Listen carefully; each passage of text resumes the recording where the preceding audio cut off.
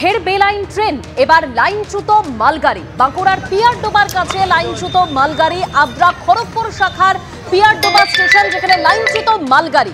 ঠিক কি ঘটেছে জানব এবং তার পাশাপাশি এই মালগাড়ি লাইনচ্যুত হওয়ার ফলে ট্রেন চলাচলে কোনো প্রভাব পড়েছে কিনা বিস্তারিত তথ্য জানাবে আমাদের প্রতিনিধি পূর্ণেন্দু সিংহ। পূর্ণেন্দু। দেখো, তোমাকে বলে রাখি যে আদ্রা খড়গপুর শাখার যে বাঁকুড়ার পিয়ারডোবা স্টেশন, সেই পিয়ারডোবা স্টেশনে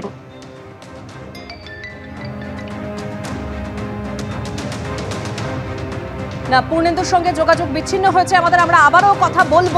ফের বেলাইন ট্রেন, এবার লাইনচ্যুত মালগাড়ি। বাঁকুড়ার পিয়ারডোবার কাছে লাইনচ্যুত মালগাড়ি। আদ্রা খড়গপুর শাখার পিয়ারডোবা স্টেশন, যেখানে লাইনচ্যুত হয়েছে মালগাড়ি। আমরা আবারও যোগাযোগ করেছি আমাদের প্রতিনিধি পূর্ণেন্দু সিংহর কাছে সঙ্গে। পূর্ণেন্দু, তুমি যেরকম বলছিলে।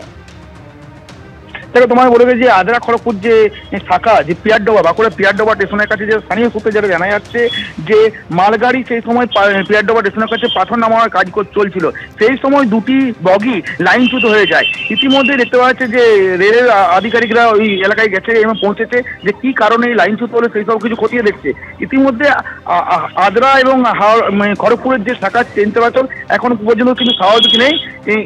যেটা স্থানীয় সূত্রে বা রেল সূত্রে যেটা জানতে পারছে যে বিভিন্ন ট্রেন একদিকে আদ্রা এবং স্থানীয় গড়বেতায় এই এলাকার মধ্যে রয়েছে।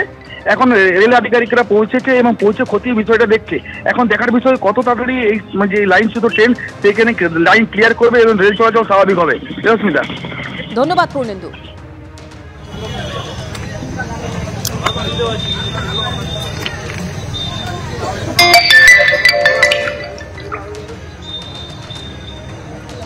গতকাল পুলিশের একাংশ একাংশকে নিশানা করেছিলেন পুলিশ মন্ত্রী মমতা বন্দ্যোপাধ্যায়। তার সেই মন্তব্যের পরই অসিত মজুমদারের রোষে এবার সরকারি কর্মীরা। অন্যদিকে পুলিশকে নিশানা করেছেন কুণাল ঘোষ। আজ অসিত মজুমদারের রোষে সরকারি কর্মীরা সরকারি কর্মীরাই সরকারকে ডোবাচ্ছে এমন মারাত্মক অভিযোগ করেছেন বিধায়ক অসিত মজুমদার। অন্যদিকে আজ কুণাল ঘোষের নিশানাতেও পুলিশ। আপনি বলছেন কি শুনব? আপনাকে পর পর লিস্ট আপনি একটাও করছেন না?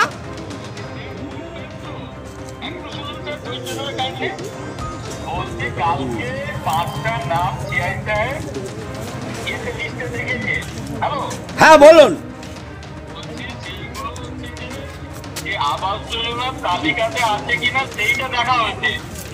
না না, আপনি ইনকোয়ারি করে রিপোর্ট দিন ভিডিওকে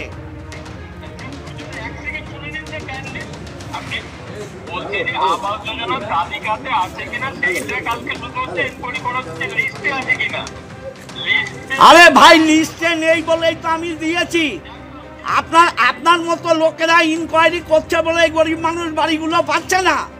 আপনি ফাজলামো মারছেন।